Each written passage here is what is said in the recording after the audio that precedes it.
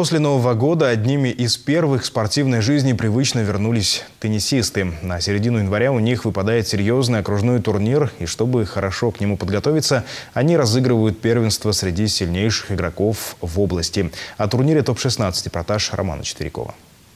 Топовые матчи были и остаются изюминкой теннисного календаря. Это уже после пойдут командные чемпионаты и личное первенство. Но вот игру лучших из лучших можно увидеть только в один из праздничных дней.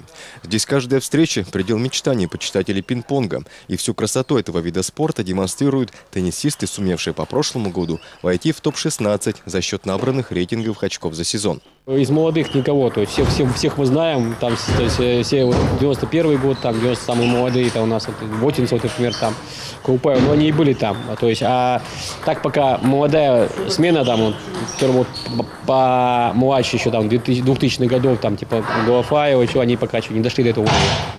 Одно послабление все же было сделано. Троих молодых игроков допустили в элитарную группу взамен участников, которые не смогли по ряду причин найти время, чтобы сразиться в теннисном суперфинале.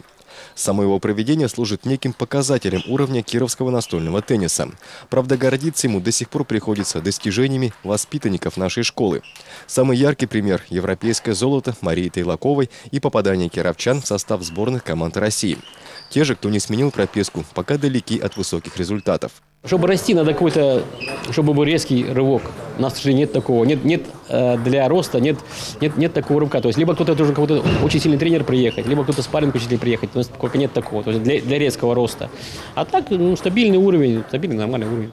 Со слов президента Федерации, на данный момент мы сильной командой, которая удерживает неплохие позиции в зачете Приволжского округа.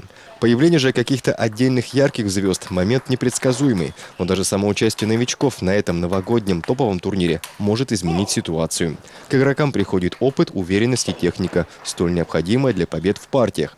Их было сыграно немало, сначала в группах, а затем в стыковых встречах. Общим итогом стало определение сильнейших теннисистов, которым с 10 по 15 января предстоит сыграть на личном взрослом чемпионате ПФО в Казани.